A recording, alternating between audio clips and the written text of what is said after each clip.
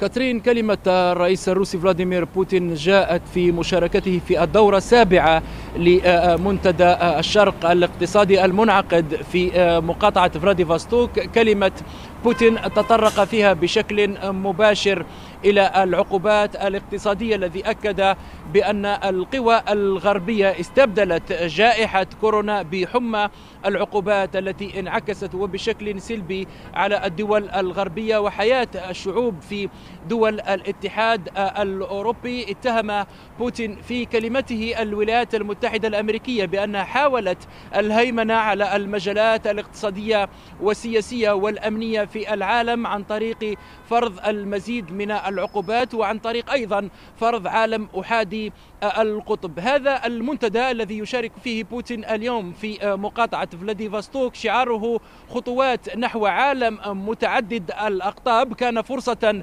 للرئيس الروسي فلاديمير بوتين لاستعراض قدرات روسيا في الشق الاقتصادي خاصة وأنه أكد بأن الاقتصاد الروسي تجاوز حزمة العقوبات الهائلة التي فرضتها القوى الغربية على روسيا. وأكد بأن الاقتصاد الروسي تحسن وبأن التضخم في روسيا لن يتجاوز نسبة 12 في المئة مع نهاية هذا العام بالمقابل.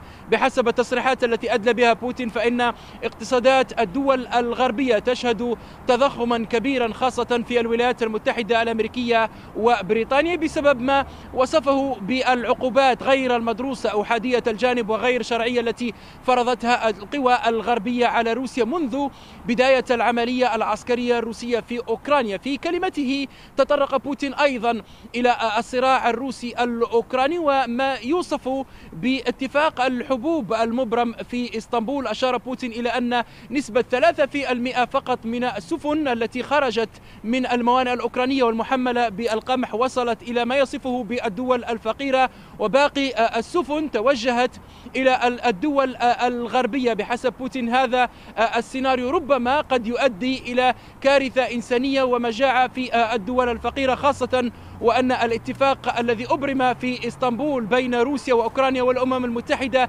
تحدث حول ضرورة تسهيل مسار السفن التجارية المحملة بالحبوب التي تنطلق من الموانئ الأوكرانية والتي تتجه إلى الدول الفقيرة التي هي في حاجة ماسه إلى الحبوب الأوكرانية. بشكل عام أشار بوتين أيضا إلى توجه روسيا نحو تنويع شراكاتها الاقتصادية في الوقت الراهن مع آسيا ومع دول آسيا الوسطى وتحدث أيضا عن تلك الشركات الغربية التي انسحبت من الأسواق الروسية أو تحت ضغوطات هائلة من الحكومات الغربية بوتين قال بأن الشركات الغربية فقدت أو افتقدت للتنافسية في الوقت الراهن بسبب هذه العقوبات وبسبب أيضا انسحابها من الأسواق الروسية تحت الضغوطات طيب. والعقوبات المفروضة من القوى الغربية طيب كما ذكرت يوسف بوتين اتهم العقوبات الغربية بالتسبب في التضخم العالمي كذلك روسيا تتهم الولايات المتحدة بالوقوف وراء أزمة الطاقة كيف ذلك؟ ماذا عن الرؤية الروسية وراء هذه الاتهامات؟ صحيح كاترين موسكو ترى بأن واشنطن دفعت دول الاتحاد الأوروبي نحو خطوة انتحارية عن طريق فرض المزيد من العقوبات الاقتصادية على الاقتصاد الروسي والتي طالت بشكل مباشر قطاع الطاقة بما فيها توريد الغاز الروسي أو النفط إلى الدول الأوروبية. موسكو ترى بأن الولايات المتحدة الأمريكية تعمدت هذه الخطوة لكي تكون بديلا لروسيا وتورد الغاز والنفط لدول الاتحاد الأوروبي. على الرغم من أن الغاز من الولايات المتحدة الأمريكية سيكون باهظ الثمن مقارنة مع الغاز الروسي. موسكو هي الأخرى حملت دول الاتحاد الأوروبي جزء من مسؤولية أزمة الطاقة التي يشهدها العالم في الوقت الراهن بعد استدراجهم من طرف الولايات المتحدة الأمريكية نحو فرض المزيد من العقوبات الاقتصادية على روسيا خاصة ما تعلق بالسيل الشمالي واحد. وهنا الحديث يدور بدرجة أولى عن وقف روسيا لصادراتها من الغاز نحو دول الاتحاد الأوروبي عبر بحر البلطيق وعبر السيل الشمالي. واحد الكرملين وعلى لسان الناطق باسم الرئاسة الروسية ديمتري بيسكوف قال بأن العقوبات التي فرضت من الدول الغربية على روسيا تسببت في وقف أعمال الصيانة في مشروع السيل الشمالي واحد وبأن التوربينات الموجودة لا تكفي لضخ الغاز إلى دول الاتحاد الأوروبي وبالتالي بحسب الرؤية الروسية الغرب فرض عقوبات على روسيا وانعكست هذه العقوبات بشكل سلبي على الاقتصادات الغربية بما فيها في مجال الطاقة وانعكست أيضا بشكل سلبي على حياة الشعوب في دول الاتحاد الأوروبي. طيب البعض يعتبر أنه عملية الصيانة هي مفتعلة وليست سبب الأزمة الحقيقية لوقف الإمدادات. على كل حال لننتقل إلى محطة زاباروجيا والتي لا تزال محط أنظار. روسيا تطالب الوكالة الدولية للطاقة الذرية بتوضيحات بشأن تقريرها. ما التوضيحات التي تريدها موسكو تحديداً؟ كاترين اولا يجب الإشارة بأن موسكو انتقدت التقرير الصادر من الوكالة الدولية للطاقة الذرية بخصوص محطة زاباروجيا لأن هذا التقرير لم.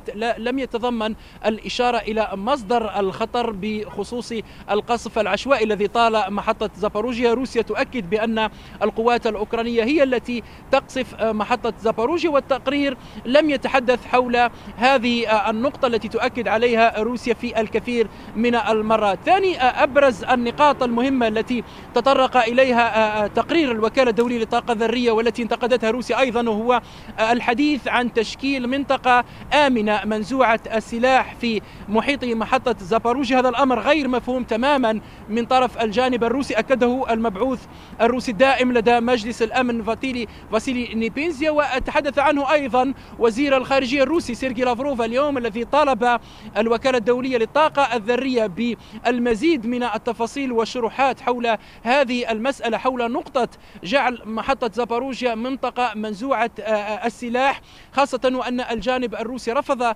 في الكثير من المرات حتى قبل زيارة الوكالة الدولية للطاقة الذرية محطة زاباروجيا رفض الحديث وبشكل مباشر على مسألة تخصيص أو جعل محطة زاباروجيا منطقة منزوعة السلاح. وأكدت موسكو بأنه في حال ما إذا انسحب الجيش الروسي والقوات المخصصة لحماية محطة محطة زاباروجيا من هذه المحطة فإن القوات الأوكرانية وما تصفهم روسيا بالكتائب المتطرفة سوف تستغل هذه المسألة وستجعل من محطة زاباروجيا نقطة عسكرية لإطلاق هجمات عسكرية سواء على الجيش الروسي أو حتى للقيام باستفزازات نووية قد تكون خطرا كبيرا على القارة الأوروبية. هذه هي الرؤية الروسية للتقرير الذي صدر عن الوكالة الدولية للطاقة الذرية والذي حظي بانتقاد كبير من طرف موسكو. موسكو سواء في مجلس صح. الأمن على لسان فاسيلي نيبينزيا مبعوث روسيا الدائم لدى مجلس الأمن وحتى وزير الخارجية الروسي سيرجي لافروف الذي طالب بالمزيد من التفاصيل والشروحات حول هذا التقرير